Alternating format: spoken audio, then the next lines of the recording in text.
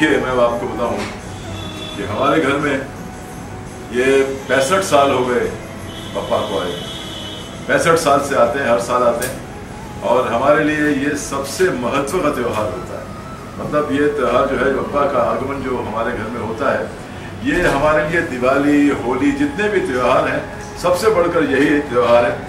और इसे हम त्यौहार नहीं मानते। हम ये समझते हैं कि हमारे जो पापा हैं, हमारे जो, हमारे आपने देखा होगा कि हमारे यहाँ बाल स्वरूप आते हैं, हमेशा बाल स्वरूप आते हैं। और मैं जब पाँच महीने का था मुझे मेरी माँ ले गई थी पप्पा को लाने के लिए।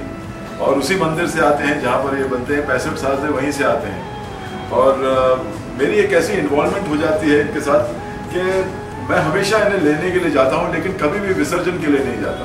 मैं विसर्जन के लिए इसलिए नहीं जाता क्योंकि जब मैं छोटा था जब ये आते थे जब ये घर से जाते थे आ, अपने अपने ट्रिप के लिए जाते थे वापस अपने अपने घर जाते थे तब मैं बहुत रोता था। तो तब से मैं कभी भी विसर्जन के लिए नहीं जाता और मेरे लिए ये जो ये जो ये जो सात दिन के पप्पा होते हैं सात दिन के लिए आते हैं हमारे घर में मेरे लिए सात दिन मतलब मेरा पूरा घर एक मंदिर की तरह हो जाता है। और मुझे एक ऐसी खुशी का एहसास होता है कि मैं आपको बयान नहीं कर सकता।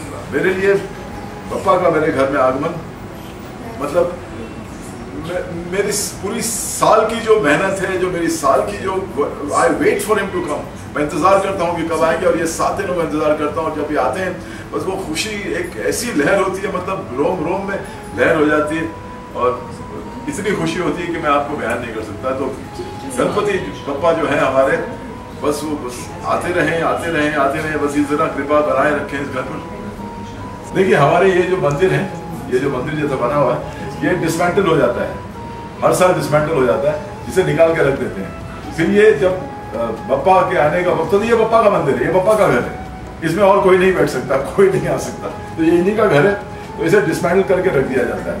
और फिर निकाल के फिर लगा देते हैं, इनके आने से तीन चार दिन पहले लगा देते हैं लाइटें लगा देते हैं, फिर इसमें ये सामग्री लगा देते हैं, ये सब चीज़ें लगा देते हैं। और ये इतना खूबसूरत हमारे लिए हो जाता है ये दिन। कि मैं आपको बैन नहीं कर सकता।